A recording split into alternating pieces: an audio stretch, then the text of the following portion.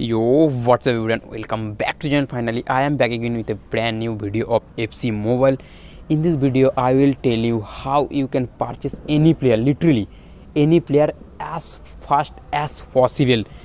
Also i will show you a live demonstration how i purchase any player fast okay so let's start the video. The if you enjoy the video don't forget to subscribe and like the video if you enjoy the video okay? So first of all go to um, your uh, player choice. Uh, what player you want?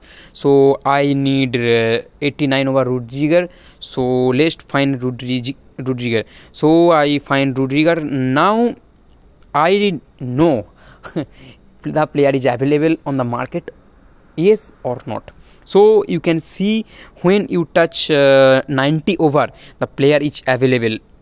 If you want 91 over also the player is available. How i know? Because uh, left of the corner you can see one red dot okay? If there is a red dot it means the player is not available in the market. So um, you know the player is not available.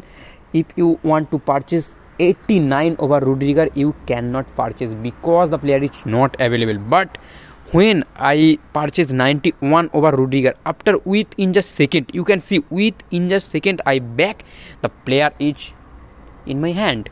So I claim the player and um, I rank up all my players like this and a crazy level up recently a crazy level up coming soon